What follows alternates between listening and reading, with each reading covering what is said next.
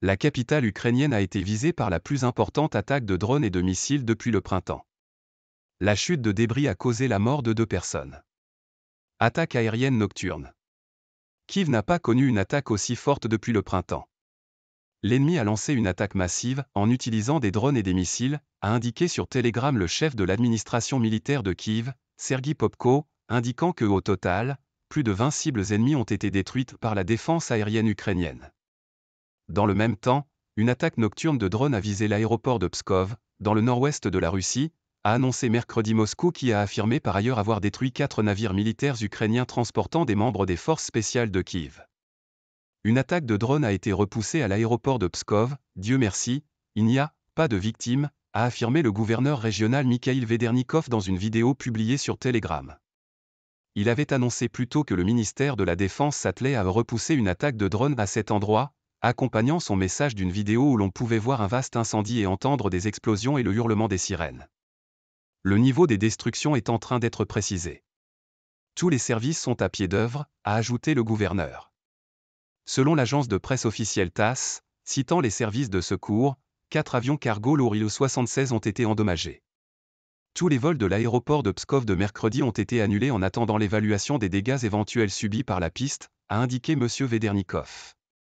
D'après les premières informations, rien de grave, mais la nuit il est difficile de vérifier cela. Si tout est en ordre, l'aéroport reprendra ses activités normales jeudi, a détaillé le gouverneur. La région de Pskov, proche de l'Estonie, avait déjà été attaquée par des drones fin mai. Sa capitale administrative se trouve à quelques 830 km de Kiev. Des navires ukrainiens détruits, affirme Moscou.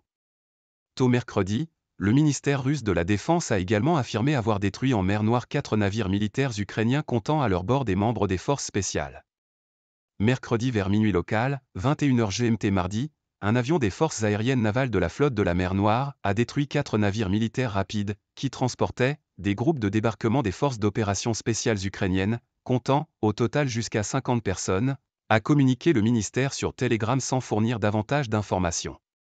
L'Ukraine s'était félicitée jeudi d'avoir mené une rare opération commando dans la péninsule de Crimée, annexée par Moscou en 2014, et d'y avoir hissé le drapeau national, un succès symbolique dans ce bastion considéré comme imprenable par Moscou. Des unités des forces spéciales ukrainiennes étaient venues depuis la mer, débarquant près des villages d'Olenivka et Mayak, dans l'ouest de la Crimée, avant de repartir sans perte, accomplissant tous leurs objectifs et tâches selon le renseignement militaire ukrainien.